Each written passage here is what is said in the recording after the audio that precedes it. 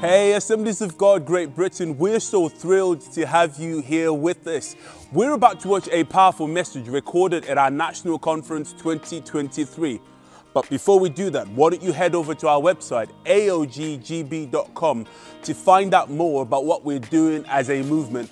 We are in exciting times. To stay up to date with all of our content, subscribe to our channel, and we hope that you feel encouraged and inspired. Enjoy the message.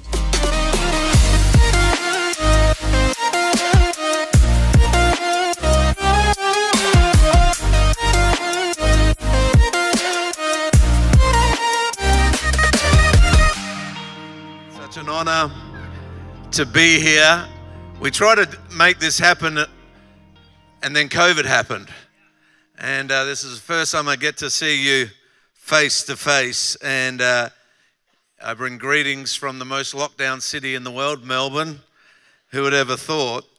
Um, and but God is moving. You know, in our church in Melbourne, uh, in the last five weekends, we've had over 300 people give their lives to Christ. Um, pretty awesome. We love what Jesus is doing. Uh, it's pretty cool being here because really my family roots come out of Great Britain, and uh, and there's something about coming back to your family roots. Obviously, my name's Evans, so I'm Welsh heritage. Um, but I'll tell you a little story. I was a 16 year old punk, bit like Derek is now. And, um, and I was 16. My mum was praying for me. She was interceding for me because I was showing worldly signs. I was a musician. And these two British gentlemen came and stayed in our house. And they were preaching for my dad, who was the general superintendent of the Assemblies of God in Australia. And, uh, and I can remember, you know, there's people you remember in your life, and there's people you sort of remember. The sort of you remember people, you just smile and pretend you know them. But there are people who made a profound impact. And one of these men was a guy called David Shearman.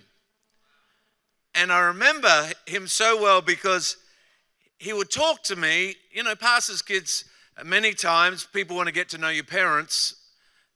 And so I would always test people whether they like me or they like my parents. And he came to me and he and he and he talked to me about God and what God wanted to do in my life. And and he actually gave me a, a tracksuit. And there was a famous footballer that was in his church at the time at not, playing for Nottingham Forest. And um, and he gave me his tracksuit. I can remember it to this day. And so I've had so many preachers come through our church and through our home. But when people go out of their way to value you as a person, to minister to you as a person, it makes an impact. And so I, I want to honor you, David Shearman. Thank you for impacting my life as a 16 year old young man. So amazing. I also, I don't want to preach a whole sermon on honor, but I wrote a book on honor. It's a good one. It's not on your list, though. It is on there, is it? No, I didn't see it. I looked it up. Uh, I'm just joking. you know, uh, I walked a long journey with, with Grant, with Grant, with Glenn. Uh, Grant, too, he was a good guy. Um, Glenn and Soph, um, they started coming to Planet Shakers conference, uh, and uh, one of the things that I admired about them were their hunger to learn. They're always learners. They always want to increase. They always want to. I, I, tease them sometimes because some of the ministries they get come preach in their church. I'm like, why are you having them? He goes, oh, I want to get this bit out of it. And I go, oh, okay, good. Um, he, always increasing. And I, am the uh, vice president of Empower 21, which is the largest uh, global empower, um, um, Holy Spirit empowered movement in the world, relational movement in the world. And Glenn serves on it as well. And I want you to know that this man and this woman are highly revered across the world.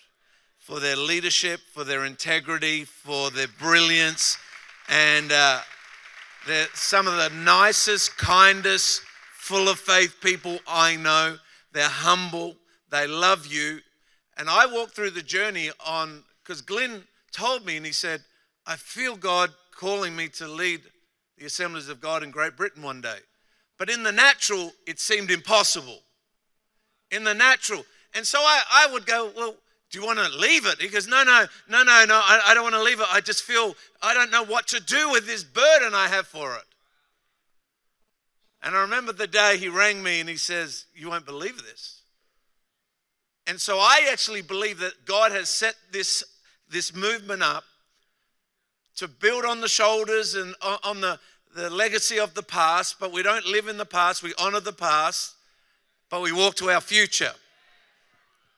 And I believe that this movement is set up for the greatest outpouring of the Spirit of God that you've ever seen. And this nation, as I'm talking about the United Kingdom, has had amazing moves. Amazing moves. Such moves that have impacted my life. I wouldn't be here if the move of God hadn't come to this nation. Tommy Evans was a coal miner in Abergavenny. His future was coal mining, 17 years of age. Coal mining, parents were coal miners. That's what my future was. And another good movement called the Elim movement. There's a guy called Stephen Jeffreys preaching in a village down the road, and a, and a miracle happened. A guy's sight, uh, he got his sight, and, and it, it, it, my grandfather heard about it, and so he thought, I'll go check this out. As a coal miner, addicted to cigarettes, sitting at the back of a meeting, and in the middle of the service, Stephen Jeffreys goes from his pulpit to the back of the meeting and says to my grandfather, Young man, do you know Jesus? And he said, No, I don't. He said, Would you like to know him? He said, Yes, I would. And that moment, my history and my legacy changed because a minister of the gospel brought the power of the Holy Spirit. I grew up in church. I've been with the Who's Who and the Christian Zoo. I've seen how the church, you know, goes through different seasons, and you know, uh, so many pastors go to different conferences and they, they come and change their vision to their church depending on what conference they've been to. Hebrews 8 5 says, Build according to the pattern shown to you on the mountain. You can't get your pattern from someone else. You can get an impartation, but you can't get your pattern on the mountain represents the presence of God. And, and I, I, believe that God's building his church, and I believe that there's coming a hunger for his presence again and a hunger to, for dependence upon the Holy Spirit. It's amazing to me that how many churches have the theology of Pentecost but don't operate in it. I always say to pastors, whose meeting is it? Because there'd be times the Holy Spirit would be speaking to me in meetings and, and I'd have the, the schedule, I'd have it all sorted, I'd have it all ready to go. And, you know, I'd, I'd done my uh, practice for my sermon, I preached in the mirror, and, and, and we had it all out and it was all going. And, and then the Holy Spirit says, I want to heal people. And I go, but it's not in the list. It's not in the list. Yeah, but I'm the leader of this meeting. You're not. Because sometimes we tell God what to do in our meeting instead of say, What do you want to do? so my grandfather, he got on fire for God. And In fact, uh, in his older age, he used to go, I believe in the Holy Ghost and not much else. He went as a young man to India as a missionary. My grandma, at the same time in Adelaide, Australia, there was another guy from just down the road from Bradford, Smith Wigglesworth decided to attend Australia. And in Adelaide, over 100 years ago, or just under 100 years ago, over 100 years ago, he did these meetings where healing was happening and God was moving and it was powerful. And my grandma, a little young, four foot nothing teenager, had an encounter with God, and her whole family encountered God out of Bradford, England. And they started a small group. And that small group eventually became a church. Then a lady from America, because we can't forget the Americans, she came and her name was Aimee Semple McPherson. And my grandma got baptized in the Holy Spirit. At the age of 18, my grandma, she would, she would get on a little box and she'd preach and she'd talk to people and say, Come to Jesus. At, at 19, she'd go into the hospital and she would say, Is there any sick people here?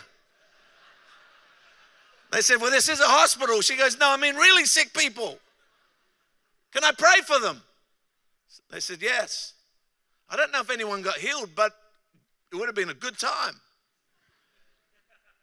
At the age of 21, she feels the call of God to go as a, an Assemblies of God missionary. The very first woman Assemblies of God missionary sent from Australia to India. So you've got this, uh, they've got this Welsh Assemblies of God missionary meets this Australian Assemblies of God missionary on a camp and they fall in love. They don't date, they write letters. They decide to get married. And so they get married, and for the first five years in their ministry, they have two people get saved. Two people. They would come back on furlough to the, the Great Britain Assemblies of God conferences and they'd hear what's happening in Africa and, and they, they could have got discouraged because great moves of God was happening in Africa. But in where they were in India, they had five people uh, uh, in, in their church and only two got saved in that period of time and one of them had left. My grandma is, is ministering in the slums, in the rubbish dumps, and she gets sick and she gets hepatitis. As she's there, she's dying in India. Back in Australia, no one knows uh, that she's sick, but her sister has a word of knowledge and, and she begins to pray and begins to intercede for her sister and, and begins to say, God, do, what, do whatever you have to do. And she gets his word. There won't even be a mark left on her body. What does smallpox leave? It leaves marks. She's dying. My grandfather comes in and, she, and he gets communion and he opens her mouth and, and he pours down the juice and, and he says, Jesus, by your blood that was shed. And then gets the bread. And in the morning, she's feeling a bit better, so he thinks to do it two nights in a row. And on the third day, the power of God comes upon her. And she gets completely healed and she served God in Papua New uh, in India for the next 20 years. Planted churches, all because of a move of the Spirit of God. Not because of organization, not because of coolness. I tell people all the time Jesus spoke the language, so the church needs to speak the language. We need to understand Babylon. We need to understand the culture, but we need not to become the culture. When my mum was dying of cancer, my skinny jeans could do nothing. I needed more than being cool. I needed something more deeper than that. I, what I love about here is you come and you got that prayer meeting and it's packed out because when people pray, what happened to the Western church? We stopped praying. A church that pray doesn't pray says they don't need God.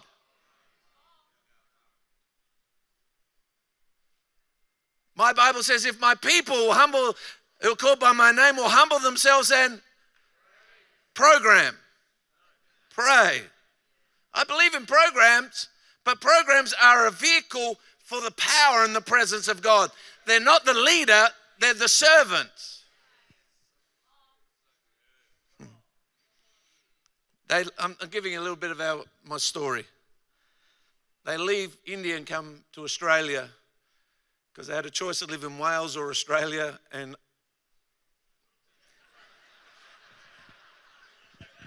praise the Lord.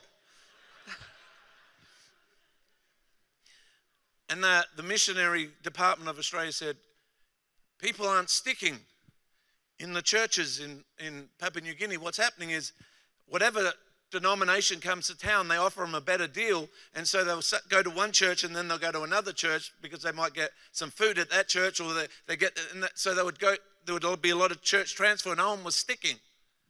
And my grandfather, grandfather would believe powerfully in the baptism of the Holy Spirit. So we went into the east region of Papua New Guinea, and all of a sudden, a move of God began to happen, and people began to be filled with the Holy Spirit. And, and these uh, Papua New Guineans started speaking in tongues, and they started sticking. They started becoming disciples.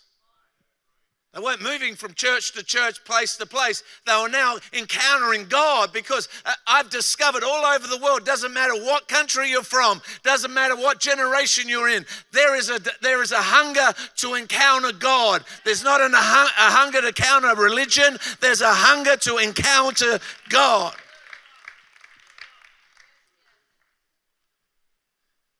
And they stayed there. And then my dad who went to Bible college, got married, and we, they went to live in Papua New Guinea, and I was born in Papua New Guinea. My mum got sick, and we had to come back, and then my dad took over a church of 150 people in Adelaide, and, it, and it was in the first six months went to 100. It was a it was church growth in reverse. But he got a hold of prayer and he got a hold of the Holy Spirit and he got a hold of faith and he got a hold of the Word of God. And that church eventually grew to be the largest church in Australia. And then, and then he became the general superintendent. And, and it took the, the movement that we were a part of from around 100 churches with his great friend Phil Hills to, to be a, a movement over, over a thousand people in 20 years, a thousand churches in 20 years. And they were planting church every two weeks.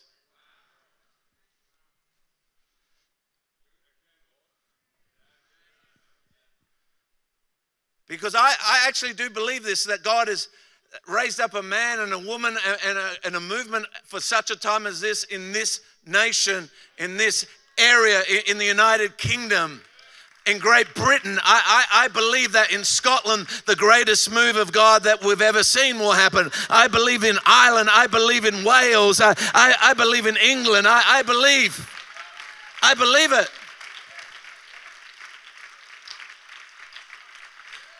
And so many times we're looking for the formula to build our churches. You think about this. I've been around long enough. I know I look really young, but you know, I see people will forget our sermons, but they won't forget their encounters. If I was the devil, I would take encounter out of the church and I'll just make it acceptable and cool and hip and and just a yeah, it's a great place to hang out. I would make it where people uh, see the church was never created for the consumer; it was created for the disciple. Because you know what COVID taught us? Who's our disciples and who are the consumers? and I've discovered you can't grow churches. Discipleship isn't a quick formula. Jesus spent three years with 12. We want to spend three minutes with two. Hmm. So I, now I'm third generation preacher. If you watch this, by the way, uh, this is what I believe prophetically is going to happen at this conference. Pastor Glenn touched on it, but I believe that sons and daughters that were birthed in ministry, that may have run away or become prodigals. I believe there is a pulling of the Spirit. I can feel it in my very fiber. I, I, I feel it. I, I, I, see sons and daughters who once tasted of the goodness of God but got hurt in ministry or got hurt because a parent got hurt or saw something happen. I can see God bringing restoration and I can see people starting to step into a family, the family of God, ministering together. So I'm third generation preacher. The problem is the challenge within each generation is hunger. Because you know what God is attracted to? Not our coolness, not our intellect. He's attracted to our hunger. Hunger attracts heaven. All through Scripture. Hunger. Jesus stops for a blind man shouting, Jesus, son of David, have mercy on me. What stopped him? Hunger. He's walking along, and a little short guy gets up in a tree, and something gets his attention up in the tree. It's hunger. A woman pushes her way through the crowd to touch the edge of his garment, and she's like, If only I could touch the edge of his garment. And everyone's touching him, but one person's touch got his attention. What was it? It's hunger.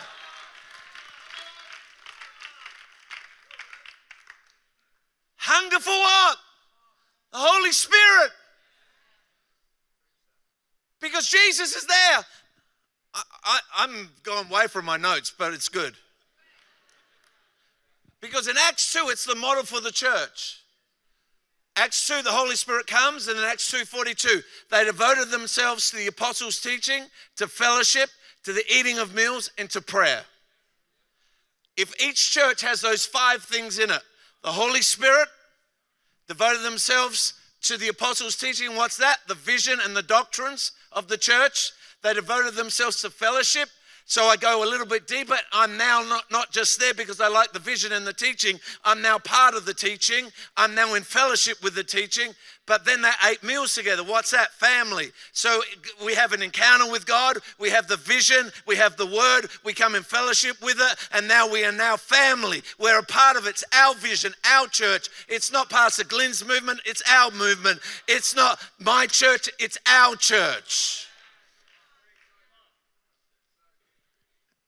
And then they had intimacy and power, prayer.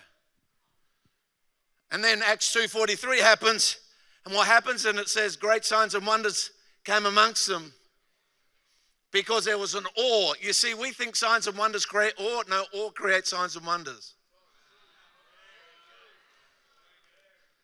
And hunger creates awe. I've been in, I've been around for a long, long, long time. I've seen the who's who in the zoo. But the one thing, uh, my, my grandfather is, is crazy. He used to come to our youth services at 87. He's a Welshman who loves Welsh hymns in the valleys. And he would come and he'd come with his Ugg boots on. I don't know if you know what they are, but and he'd come there and he wasn't cool he became blind. So he thought, I'm going to learn Braille. I said, Grandpa, why do you want to learn Braille? He goes, Because I want to read the word. I said, Have you heard of a CD? You can put that on and listen to it. It's called audio. He goes, No, no, I need to, I need to read the word. He'd come to youth, and I'd say, Why you come to youth? He goes, It's the hunger. He said, Don't tell your dad, but this is the best service in the church. You know what I did? I told my dad when all those people were complaining about how loud the music was in church, I said, Well, Grandpa said the best service. Rodney Howard Browne comes to our church, and my grandpa's the first person in line to be prayed for. Benny Hinn comes, he's the first one. Someone else comes, he's the first one. He's hungry.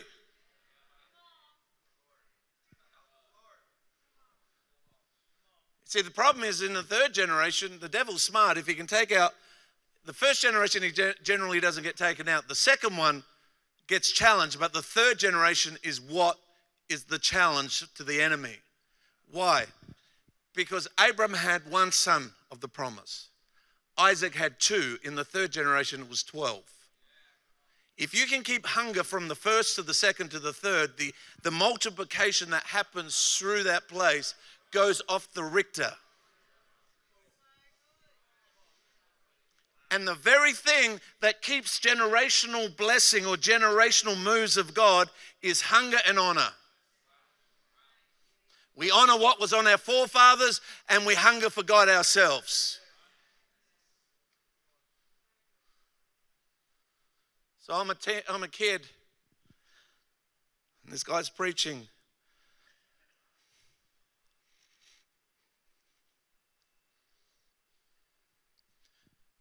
He says, Who wants to receive the baptism of the Holy Spirit? I said, Me, eight years of age. And I'm there. People think it's not seeker friendly. They don't read the Bible. The Bible says that the tongues is a sign to the unbeliever. Anyway, just it attracts seekers. My church is 15,000 people. I'm telling you, hunger for the Holy Spirit attracts seekers. Now, we don't have to be all weird about it. Because what happens is, this is what happens is if we emphasize the manifestation, we stop emphasizing the manifesto. So, what we've done in the past in our charismatic places uh, and our charismatic places um, is we've honor, uh, we honored a sign instead of the Son. So, what happens is you know, I remember when everyone was laughing. Well, not everyone was laughing. Some people weren't laughing. But, you know, people were laughing at one stage, and the people who weren't laughing were going, What was wrong with me? And some of the people who were laughing were going, What was wrong with them? Why? Because we magnified a sign instead of magnifying the Son. Just let God move. As soon as as soon as a sign attach, attracts attention to itself or to a person, it actually stops building faith, it does the opposite. So I think we can have contemporary church that speaks the language, that can have power, that doesn't have to be weird and crazy, and God can move however He wants, and we can do it with everyone being free. So I get baptized in the Holy Spirit. I'm 14, I'm becoming a naughty boy.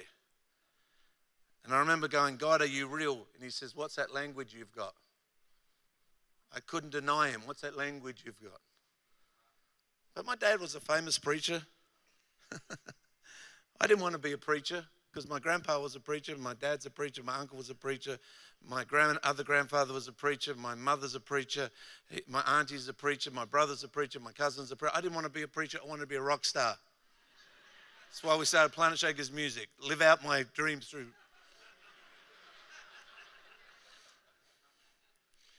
My mum, she was scary. She was scary. I'm talking about hunger this morning. My mum, uh, Pastor David knows my mum, she, we called her the walking concordance. She knew scripture like you wouldn't believe, but God would speak to her all the time about me. I'd be about to sin, and she goes, Russell, God told me you're about to do that. I remember one time, I remember one time, sorry, Glenn, I'm not really giving them a lot of form here, but the, the, remember one time I was in a horror movie. Now, I grew up, I wasn't allowed to go to movies at all, but a horror movie, that's really bad.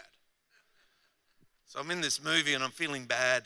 And my mum's praying for me, and she goes, and God speaks to her, Russell's at Tea Tree Plaza Cinema in cinema number seven. So I'm in the middle of this movie. I'm feeling guilty. And I hear, Is Russell Evans here? And I'm like, The producer of this movie is amazing. He has made Satan's voice sound like my mother's.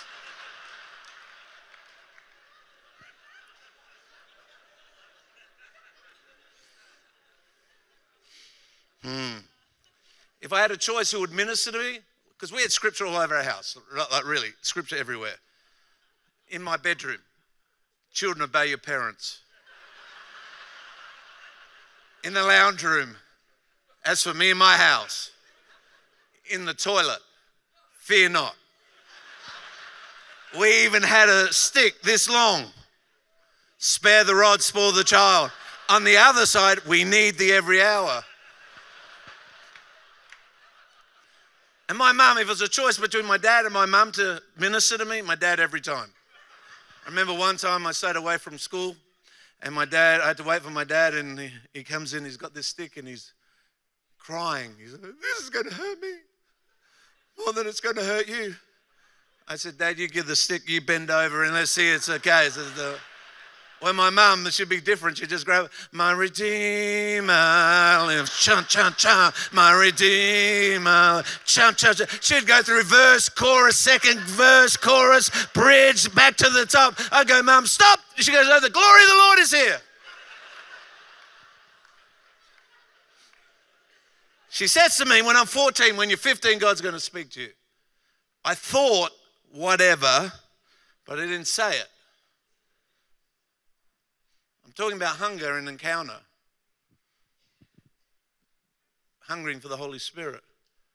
I'm standing on the front row, 15 years of age, as a cute girl in the second row, and I'm looking at her. I'm like, thank you, Jesus. She's amazing.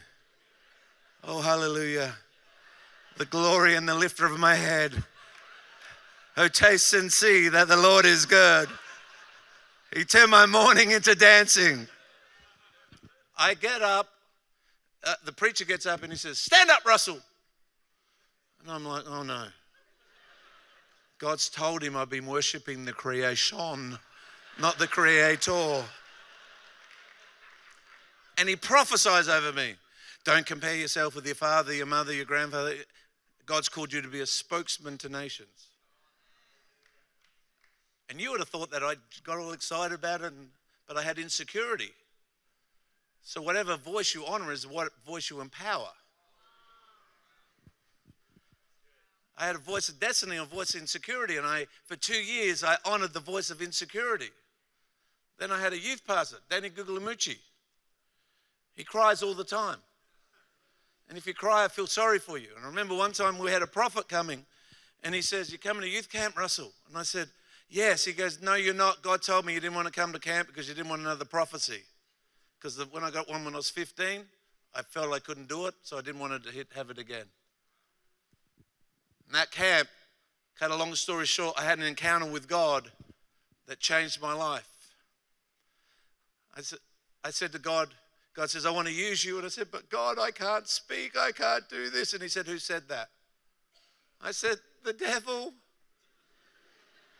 He says, I'll give you power. I said, What do you mean power? Acts 1 8 says, And you receive power. I didn't know that word mean ability, efficiency, and might. When the Holy Spirit comes upon you, See, when you get saved, the Holy Spirit comes and lives in you for you. But when you, you, get baptized in the Holy Spirit, He comes upon you for others.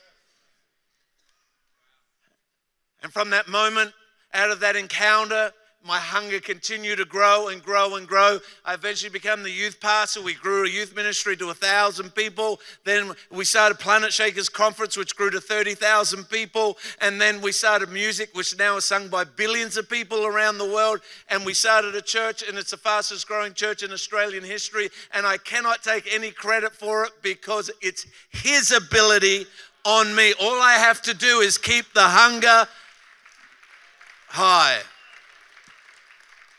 You see, in Leviticus, God started the fire. It was the priest's job to keep the fire burning. So when you give a God an opportunity to pour out his spirit and you position yourself, you see, Acts chapter 2 wasn't a suddenly, they positioned themselves for a suddenly. Jesus says, I'm going away and I, am going to send somebody who represents me and he'll lead you to all truth and he will fill you with power. He's not someone we just sing about, he's someone we invite. Welcome, Holy Spirit. I need you, Holy Spirit. I depend upon you, Holy Spirit. I need your anointing, Holy Spirit. I need your touch, Holy Spirit.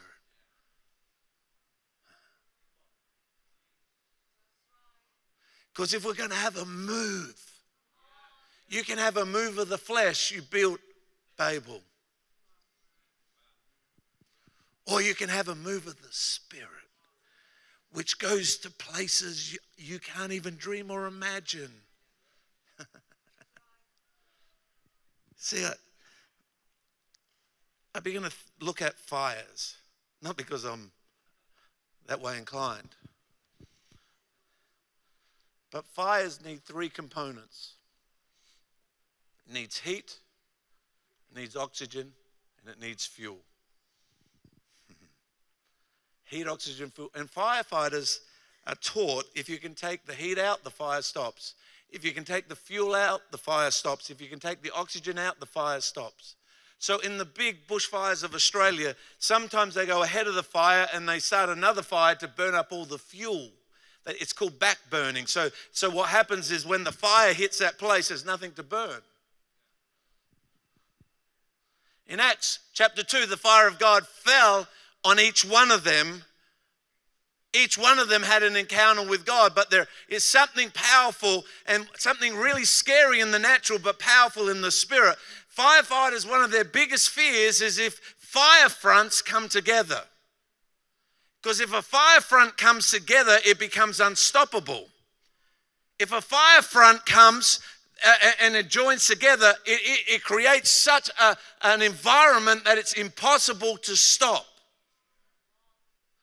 120 individuals came together, and the fire came on each one of them, and their fires came together, and they become unstoppable, and it still hasn't stopped today.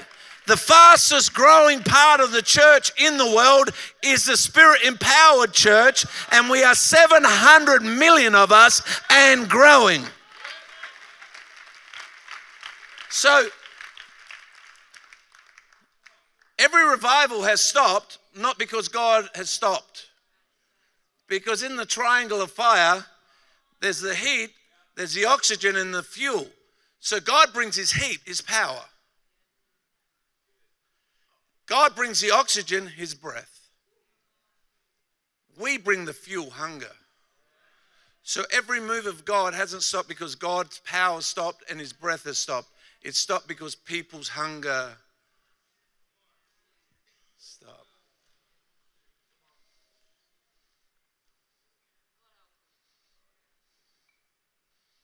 How do you have generational blessing?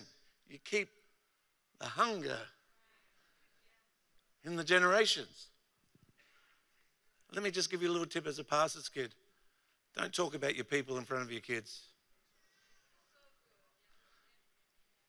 I remember my brother one day, he was about six, and my parents were talking about someone in the church who had, was doing something wrong. And my brother got out of the car and he says, I'm going to kill them. And they knew from that day on, let's not speak bad about people in front of our children. Let's protect them. Why? So that we can keep the hunger. See, for a move of God to happen, we've got to keep that hunger. Sometimes I get a little annoyed at God. I know none of you do. One thing God spoke to me this year, because I really be, believe in humility. Humility is not, oh, I'm nobody, I'm nothing, I'm a worm. I'm from New Zealand.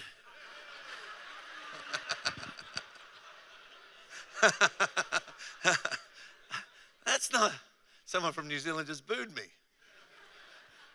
Well, you are the sixth state of Australia, so come and join. Uh, uh, yeah. You win rugby, well, that's one thing. Good. Um,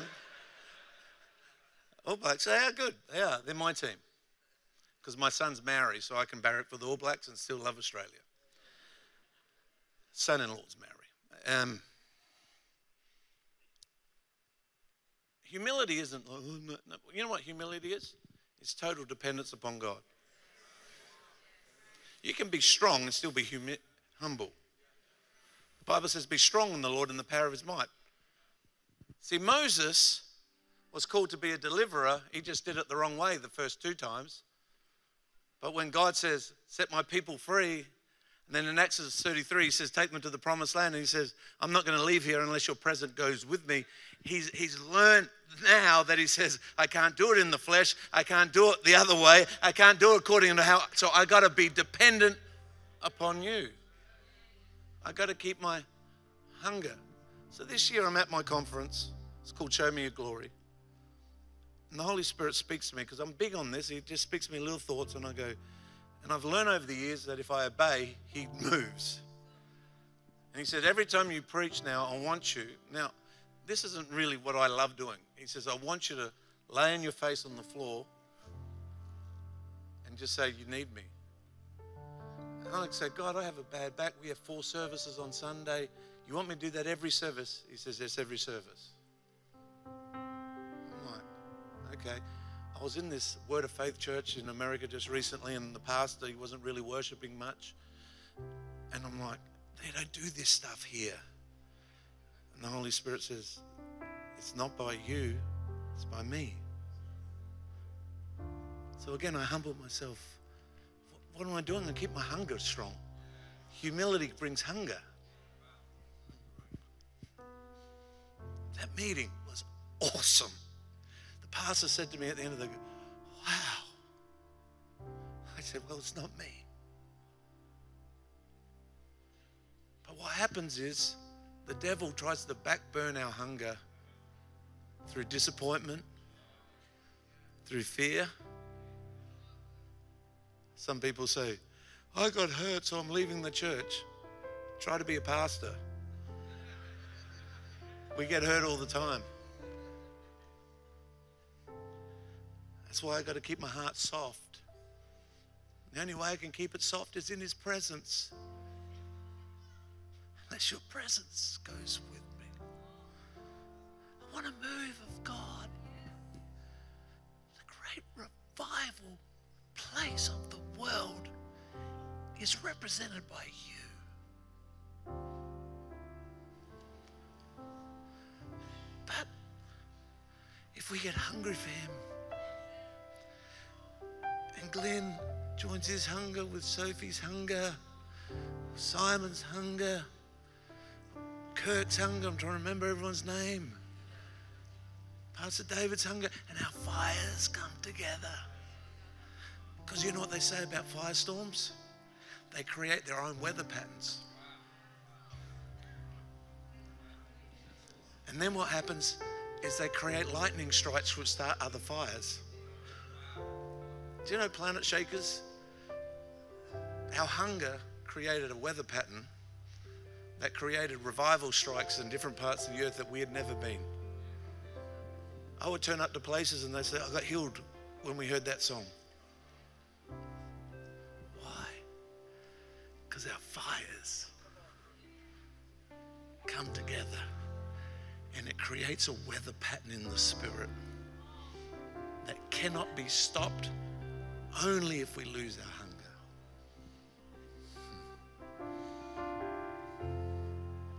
See, we want to see, and a great awe came upon them. We want to see everyone fed, and we want to see all that happen, which is very important. We want to see souls saved daily, but you've got to go where it starts through the Holy Spirit and our hunger for Him.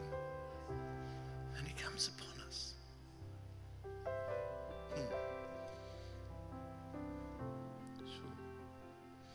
He's here. We're going to sing something. I don't know what we're going to sing, but uh, I just, I just feel for a moment. We just, uh, God, if, if I've lost my hunger, I'm sorry. If I've let something get in there, I repent. If I haven't been, if I've been resisting you speaking to me about certain things, I'm sorry. Oh God, I want you. Everything. How can I be set? My kids now are fourth generation preachers. My daughter gets up and leads worship, and it's wow, my it's off the chart. How does that happen? That's not normal. It should be, but it's not. It just kept hunger. So let's just worship.